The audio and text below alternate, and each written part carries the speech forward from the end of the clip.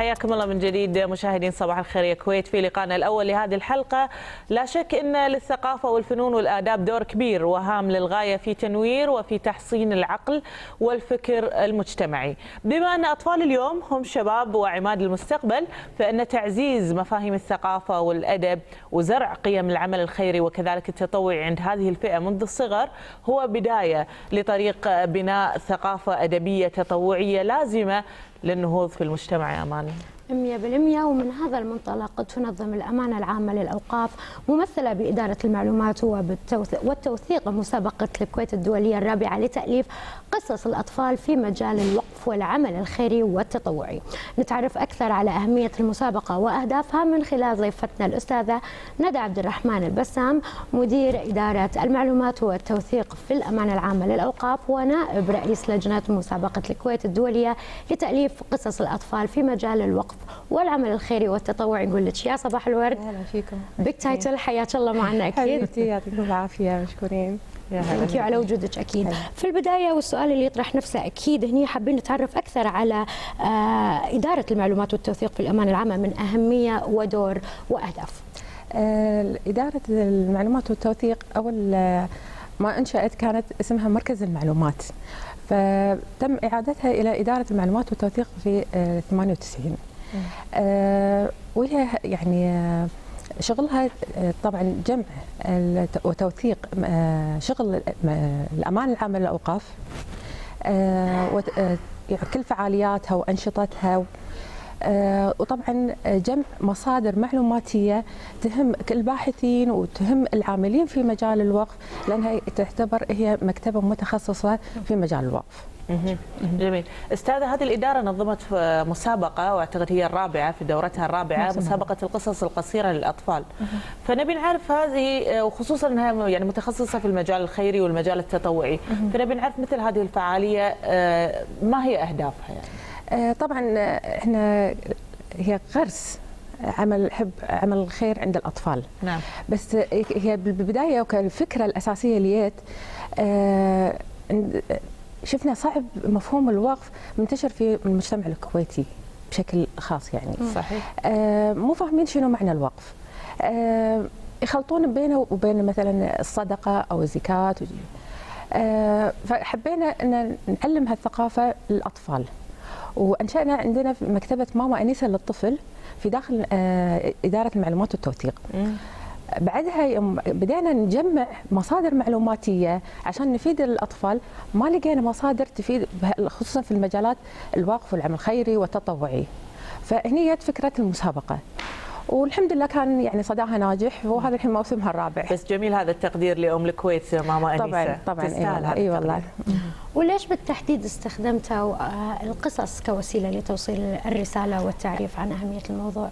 بما أن إحنا مكتبة طبعا لازم تكون مصادر معلوماتية تكون ورقية. جانب إحنا كورقي في عندنا الإلكتروني. بس طبعا الإلكتروني تاخذ مجال ثاني بعد ما إصدار القصص كورقي تدخل مسمى ثاني اللي هي قطوف الخير. لأن خلاص تعتبر ك قطوف أشياء مختارة. فسميناها قطوف الخير. فطبعا تنزل إلكتروني تحريك فيها ألعاب فيها تلوين طبعا نزلناها اونلاين موجودة في ال application في ال Android زي ال Apple Store. تواكب العصر؟ طبعا. نحاول ننشر الثقافة هذه. صار تعاون مع الخطوط الجوية الكويتية. نزلناها على شاشات الطيارة. جميل. قاعدين نحاول إن شاء الله يعني نستعين في الوزارات الثانية إن بحيث ان ننشرها أكثر. مثل أي وزارات؟ يعني مثلا في وزارة التربية. إنزين. آه مع مثلا وزارة الصحة خصوصا في أجنحة الأطفال. صحيح. مم. نعم. يعني هذه أفكار. إن شاء الله قاعد نحاول نسعى إن شاء الله. أستاذة في الدورات الثلاث السابقة كانت أيضا قصص الأطفال مشاركة في نفس المجال مجال العمل الخيري والتطوعي. نعم. فنبي نعرف شلون شلون كانت التجارب السابقة من خلال هذه القصص آه التجارب جدا كانت ناجحة والدليل إن العدد متزايد اللي في التقديم مرة على مرة. آه بعدها آه إحنا تأخرنا هالسنة في طرحها. م. كانت عندنا دراسة ميدانية على آه بخصوص هالمسابقة. فشفنا مدى يعني نجاحها إذا عشان نقدر نكمل أو لا. نعم. بالعكس لقينا صدى وايد مطلوب. والدليل انه يعني كانت تجينا اتصالات إيميلات يسألونا يعني متى تطرحونها متى المسابقة متى موعدها. فكانت وايد جدا يعني صداها ناجح كان فيها إقبال. إي نعم. أستاذة ندى بنشوف فلاش مع السادة المشاهدين. نرجع لهذا اللقاء. لو نتكلم عن الفئات العمرية المستهدفة هني اللي بتشوفها شنو أكبر عمر ممكن؟ آه تقريبا 12 سنة. ل 12 سنة. هي من 8 إلى 12 سنة. طيب نركز أكثر على المسابقة هني من شروط آه من فئات عمرية مشاركة وإذا كانوا مشاركين من داخل آه الكويت أو خارجها. بشكل عام. أوكي. المسابقة هي مفتوحة حق الكل أطفال كبار مؤلفين هواة نساء رجال من داخل الكويت من برا الكويت المهم إن عندنا إحنا الهدف ان توصل هالمعلومات إنه يقدر الواحد يوصلها لنا خصوصا إنه حق أدب الطفل وايد صعب مو أي واحد يقدر يوصل هالمعلومة وخصوصا إذا في مجال الوقف والعمل الخيري والتطوعي. جميل. طيب لو نبي نعرف ما هي آلية تقييم القصص، شلون القصة الفائزة وهل في جوائز أيضا تقدم للقصص الفائزة؟ التقييم يتم على مرحلتين. المرحلة اللي يتم فترة الاستلام القصص طبعا يتم إخفاء اسم المؤلف وإعطاء القصة رقم سري اللي هي تتعامل فيها معها اللجنة الإشرافية. آه بعد ما يتسكر الباب طبعا خلال هالفترة يتم الفرز المبدئي اللي هي مستوفين الشروط الأولية. آه مثل الألف كلمة تكون باللغة العربية إن ما فيها أي كلمات سيئة ذيئة تكون طبعا هذه كلها تستبعد. آه فبعدين المرحلة الثانية اللي هي بعد ما يتسكر باب الاستلام القصص هني يدور الفرز عاد المعايير والفكرة والهدف تكون كلها موجودة. عقبها هني تروح حق مجال التحكيم اللي يتحكم في الآخر. وهل يا ترى في توظيف للتكنولوجيا الحديثة اللي عادة ما تجذب الأطفال للاستفادة منها في سلسلة قصص قطوف الخير؟ آه مثل ما ذكرنا هي قطوف الخير آه عبارة عن آه إنتاج القصص التكنولوجي إنزين. آه قلنا فيها آه طبعا القصص فيها مجال ثلاث مجالات اللي فيها أنا أقرأ واقرأ لي وأقرأ واسألني. فيها تنوع منها. طبعا عربي إنجليزي موجودة. الجزمه فيها التلوين فيها التركيب فيها الألعاب حق الطفل. كل الأشياء اللي تجذبه بالضبط. يعني هذا الهدف إنه بحيث إنه نجذب إحنا الطفل ونساعده إنه يرجع حق القراءة.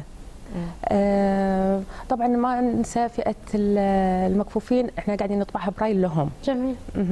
يعني نحاول إن نغطي جميع الشرائح لأن خصوصا في قلة مطبوعات للمكفوفين. والله هذه المطبوعات أنا لو أشوفها أنا قاعدة ألون وأرسم. حتى أماني حتى لو تلاحظي حتى ال graphics اللي مستخدمينه متطور جدا اللي شفناه بالفيديو اللي قبل شوية. يعني طبعا إحنا قاعدين نحاول نستخدم أعلى تقنية وشنو اللي يجذب الطفل. صحيح. خصوصا الطفل متطور الحين يعني القراءة العادية يمكن ما تكفي في ظل التكنولوجيا اللي عايش فيها وقاعد يشوفها. أستاذة ندى نبي نعرف حجم الإصدارات الأدبية اللي تملكها إدارة المعلومات وأيضا نبي نعرف ما هي خططكم لإثراء هذا المخزون الأدبي. طبعا إحنا كمجال إدارة المعلومات والتوثيق دائما يكون عندنا في تطور. خصوصا إذا عندنا ناس باحثين مهتمين في البحث في تطورات في مجال الوقف. يعني في يصير مستحدثات جديدة في مجال الوقف. فيصير في تطور فطبعا لازم في أشياء لازم نفيدها صحيح. في هالمجال. إحنا آخر مشروع إحنا الحين قاعدين نحاول إن شاء الله على 2020 اللي هي تحقيق المخطوطات الوقفية. مم. طبعا لأن إحنا مجالنا كله وقفي. فأي مجال يدخل في الوقف إحنا راح ندخل إن شاء الله. طبعا إصدارات يعني أدبياتنا وايد عندنا المكنز عندنا الكشاف عندنا أطلس أوقاف الكويت. آه يعني طبعا هذا كله شغل إدارة وتعتبر لأن الكويت آه حاملة ملف الأوقاف. مم. وطبعا إحنا تحت ظل يعني قائد الإنسانية طبعا أكيد. يعني فإن شاء الله إحنا نرفع رأس الكويت. باذن الله. قبل الختام حابة أسألك شنو هو الحال اليوم؟ حال الطفل والمتلقي هل هو فعلا دخل المود نفسه وتعلم أكثر؟ هل في إقبال من الأهالي؟ شنو رسالتك اللي تحبين توصلينها اليوم؟ والله يعني إحنا يعني خلال إحنا زياراتنا في المعارض مهرجانات الأطفال قاعدين نشوف أقبالهم يبون القصص. في إي نعم. آه طبعا يعني ما أدري يشوفون الألوان يمكن قاعدة تجذبهم. يعني حتى ساعات لأن المستوى اللي أقل من ثمان سنوات يبي القصة يشوف الألوان تجذبه. فبس ما راح يقدر يستوعبها. لأن خصوصا يعني الطفل اللي بعد يمكن خمس سنوات هو اللي يعرف الخير والشر. صحيح. فهني يعني تبدين أنت زرع ثقافة الوقف والعمل الخير والتطوع وهذا طبعا كله يعني تنمي الطفل آه، في حب الوطن آه، يعني مساعدة الغير. طبعا هذه أشياء حلوة إن- خصوصا إنه هو في مجتمع خصب يعني مقبل على هذا الشيء يعني مو شيء آه، جديد على هذا المجتمع بالضبط، يعني. بالضبط. بيئة خصبه لل- للوقف وللعمل الخيري. كذلك. والله قواكم الله أنا حبيبتي. شخصيا أشوف ان الفكرة رائعة يعني استخدام قصص الأطفال عشان نغرس فيهم آه، شيء آه، إنساني وجميل حق المستقبل حبيبتي. شكرا على مجهودكم. أكيد كل الشكر والتقدير لضيفتنا الأستاذة ندى عبد الرحمن البسام مدير إدارة المعلومات والتوثيق في الأمانة العامة للأوقاف ونائب رئيس لجنة مسابقة الكويت الدولية لتأليف قصص الأطفال في مجال الوقف والعمل الخيري والتطوعي. اذا فاصل سريع أو ننتقل إلى الزميل هاشم من الجانب الآخر ونقول لك شنو عندك.